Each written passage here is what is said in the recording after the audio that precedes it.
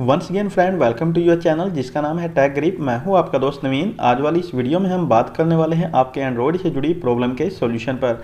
क्या होता है दोस्तों, जैसे ही आप अपने प्ले स्टोर से किसी भी एप्लीकेशन को इंस्टॉल करते हैं और इंस्टॉल कर लेने के बाद दोस्तों, आप जैसे अपने मोबाइल की होम स्क्रीन पर आते हैं और वहाँ पर उसको सर्च करते हैं, उसको ओपन करने के लिए जाते हैं, लेकिन गाइज़ वहाँ पर आपको, आपकी ये एप्लीकेशन देखने को नहीं मिलती हैं। आपको वहाँ पर शो नहीं होती है। जैसे कि दोस्तों, मेरी ये एक एप्लीकेशन है फ्लिपकार्ट तो मैंने इसको इंस्टॉल कर लिया था। लेकिन गाइज़ मैं यहाँ से बिल्कुल बैक गया तो मुझे यहाँ पर ये देखने को नहीं मिली। मैंने अपने पूरे मोबाइल को यहाँ पर चेक कर लिया है। मुझे कहीं पर भी ये एप्लीकेशन देखने को नहीं मिल रही है। अगर आप भी फेस कर रहे हैं इस प्रकार की प्रॉब्लम तो आपको हमारी इस वीडियो में हमारे साथ एंड तक बने रहना है, क्योंकि इस वीडियो के अंदर मैं इसका कंप्लीट सोल्यूशन आपको बताने वाला हूँ।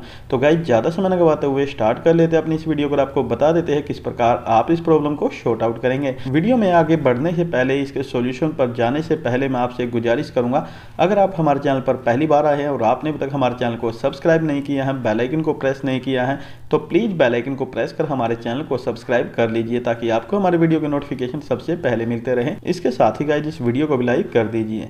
तो चलिए दोस्तों, बढ़ते इसके सोल्यूशन की तरफ़। आपको सबसे पहले क्या करना है, जो आपके मोबाइल की सेटिंग होती है, इस पर क्लिक कर देना है।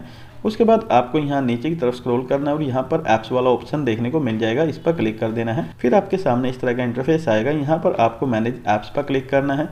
फिर आपके सामने इस तरह का एक नया इंटरफेस आ जाता है तो आपको ऊपर राइट साइड में थ्री डॉट्स देखने को मिलती हैं। आपको इन पर टैप कर देना है। जहाँ से दोस्तों आपको यहाँ पर एक ऑप्शन दिखेगा रीसेट ऐप प्रेफरेंसेज आपको इस पर क्लिक कर देना है। मैं यहाँ से इस पर क्लिक नहीं कर रहा हूँ, क्योंकि गई जो मैं यहाँ से वीडियो रिकॉर्डिंग कर रहा हूँ, जैसे ही मैं रीसेट ऐप प्रेफरेंस करूँगा तो वो यहाँ से ऑटोमेटिकली क्लोज हो जाएगा। तो गई आपको जस्ट रीसेट ऐप प्रेफरेंस पर एक बार क्लिक कर लेना है। उसके बाद दोस्तों, आपको यहाँ सर्च बार में सर्च करना होगा सिस्टम लॉन्चर तो गई जैसे ही आप यहाँ पर सिस्टम लॉन्चर सर्च करेंगे तो इस तरह की एप्लीकेशन आपके सामने आ जाती है। अलग अलग मोबाइल के अंदर अलग अलग ये एप्लीकेशन हो सकती है। तो गई मैं यहाँ पर रेडमी एमआई का मोबाइल यूज़ कर रहा हूँ तो मुझे यहाँ पर ये इस तरह से शो हो रही है तो आपको इस पर क्लिक कर देना है। उसके बाद दोस्तों, आपको नीचे से क्लियर डाटा पर क्लिक करना और यहाँ से इसका कर देना है क्लियर ओल्ड डाटा यहाँ से इसका क्लियर ओल्ड डाटा कर लेने के बाद दोस्तों, आपको चेक करना है कि आपकी प्रॉब्लम सोल्व हुई है या नहीं।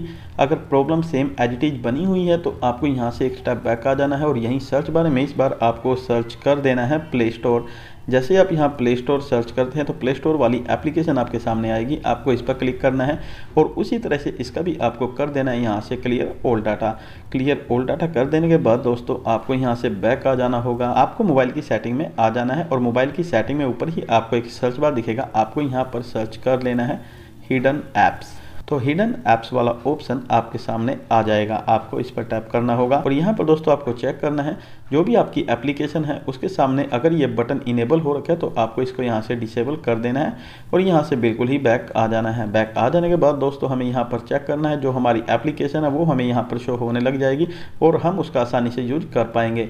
तो गाइज़ इस तरह से जो आपकी प्रॉब्लम है, इसका सोल्यूशन हो जाता है। जो आपके इंस्टॉल्ड ऐप है, वो आपके मोबाइल की होम स्क्रीन पर देखने को मिल जाते हैं। तो गाइज़ आज वाली इस वीडियो के अंदर मेरे को आपको जस्ट इतना ही बताना था। अगर आपको हमारी ये वीडियो पसंद आई तो उम्मीद करूँगा आप हमारे चैनल को सब्सक्राइब करेंगे और इस वीडियो को भी लाइक करेंगे। तो दोस्तों, मिलते हैं एक नई वीडियो में। तब तक के लिए bye bye friends, love you one take care.